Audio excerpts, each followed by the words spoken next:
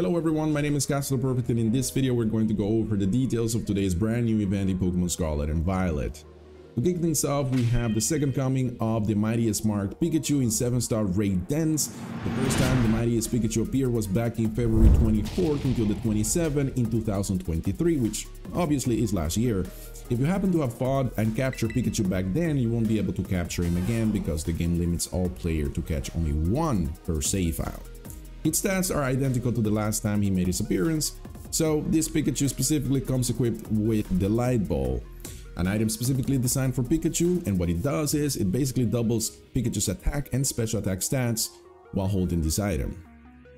Besides this multiplier, this Pikachu has maxed IVs and is fully EV trained in HP and special attack, making it a worthy opponent. It also ranges in size from 240 to 255, giving it a 1 in 16 chance of being eligible for the Jumbo mark.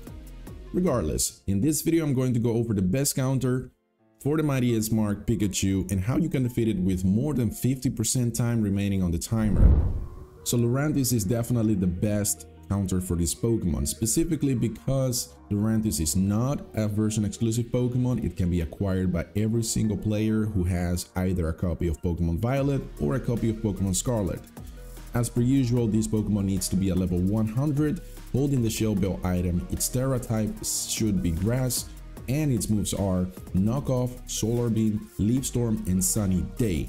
Now I want to make a side note here because the knockoff move is a TM move exclusively for those who bought the DLC expansion pack for Pokemon Scarlet and Violet. If you did not buy the DLC, you won't have access to knockoff.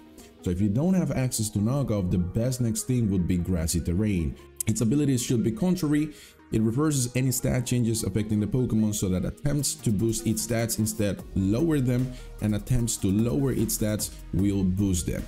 And that's the main reason why we're running Leaf Storm instead of anything else.